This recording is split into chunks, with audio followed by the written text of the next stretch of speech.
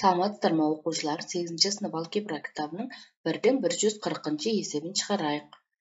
Егер кубтың қыры а толық бетінің ауданы ес болса біріншіде есті а арқылы өрнектеңдер дейді.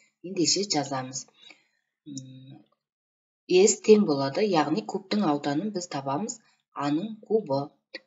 Бұл дегеніміз не деген сөз? Біздің біріншісі есті а арқылы өрнектедік. Екіншіде аны ес арқылы өрнектеңдер дейді олай болса біз былай жазамыз.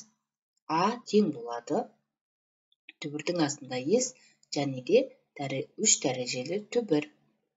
Вот міне осылай жаза саламыз бар болғаны осы. Есеп түсінікті болды деп ойлаймын. Егер есеп түсінікті болса түсінікті болды деп комментарий қалдырып лайк басуды ұмытпаңыздар. Назарларыңызға рахмет.